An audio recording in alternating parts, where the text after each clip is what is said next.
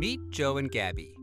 Both grew up in low income communities, attended the same low performing high school, graduated with a 3.5 GPA, and are starting their higher education journeys at their local community college.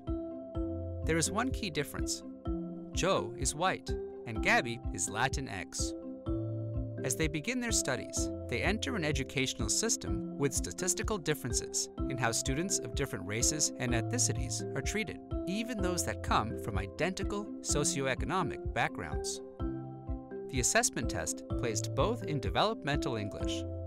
The counselor recommended that Jo take the Pilot English 101 class with a supplemental learning community, while Gabi stick with the developmental English course explaining that it's great practice for ESL students.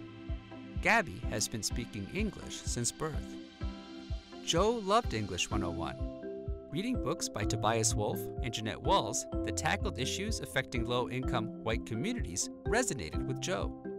Gabi related to some of the assigned essays, but felt that none really spoke about the Latinx experience. This puzzled Gabi. More than half the students in the class are Latinx, surely the instructor could have chosen some Latinx authors.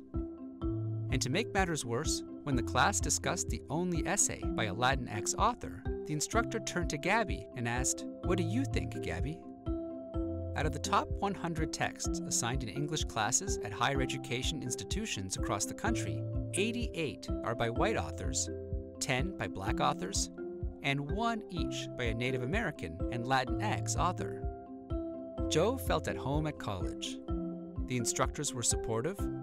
Most were white, like Jo, and their educational experiences matched Jo's. But Gabi noticed that most of the Latinx adults were clerical staff and groundskeepers. Few were on the faculty, administration, or on the walls in portraits. Faculty of color are underrepresented in higher education. Gabi and Jo both showed interest in becoming engineers. But when Gabi expressed that interest, a counselor suggested Gabi look into the HVAC program. The pursuit of STEM degrees disproportionately favors white students. Five years later, Jo transferred to the flagship state university. Gabi is still at the community college, credits shy of completing a degree. The odds are in Jo's favor. In fall 2016, UC Berkeley, for example, admitted 1,138 white and 713 Latinx transfer students from the California community colleges. At the Center for Urban Education, our research shows that the disparity in their college experiences are manifestations of institutionalized racism. We have found that higher education's mission to provide all students with equal educational opportunity is often stymied by taking for granted, presumably race neutral policies and practices that in reality confer unearned advantages to white students like Jo and compound disadvantages for racially minoritized students like Gabi. Left unexamined, these policies and practices perpetuate racial inequities.